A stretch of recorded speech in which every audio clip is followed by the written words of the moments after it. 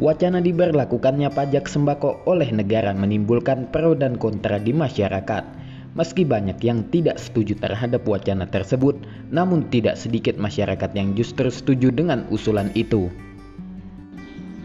Akademisi Universitas Borneo Tarakan sekaligus praktisi ekonomi, Margiono mengatakan, wacana pajak pada sembako dinilai memiliki sisi positif dan negatif secara ekonomi. Menurutnya penerapan pajak pada sembako dimaksudkan untuk meningkatkan produk domestik bruto negara yang dalam beberapa tahun terakhir anjlok.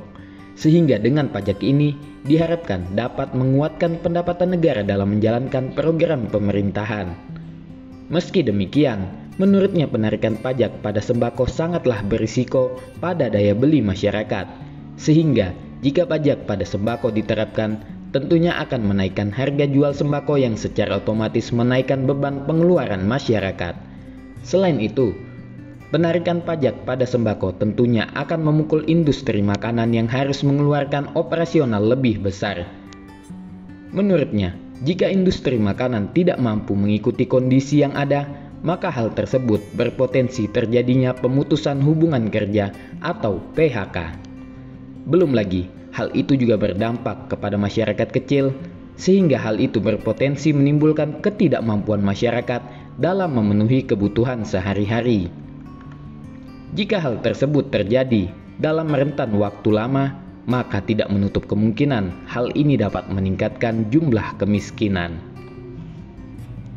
Fase yang pertama adalah akan meningkatkan harga Nah. Peningkatan harga itu pasti tidak bisa dihindari. Nah, peningkatan harga secara umum itu akan terjadi inflasi. Nah, pada saat terjadi inflasi maka uh, biaya hidup akan meningkat. Maka ujungnya nanti pada akhir tahun ini sudah nah. ini sudah bulan Juni uh, itu nanti akhir tahun pasti tenaga kerja akan biaya produksi ditambah biaya transportasi ditambah lagi biaya pajak.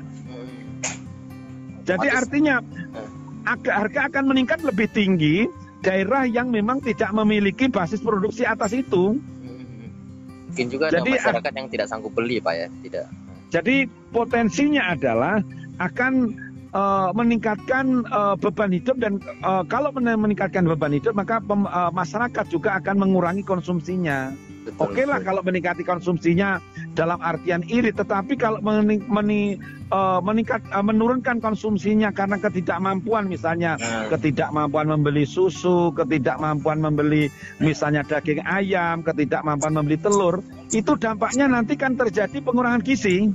Betul, betul, betul, betul. Jadi kalau gizi masyarakat mengurang ya uh, apa ya nanti akhirnya daerah-daerah yang selama ini mengimpor 10 tahun atau 15 tahun yang akan datang terjadi sumber daya manusianya menurun lagi.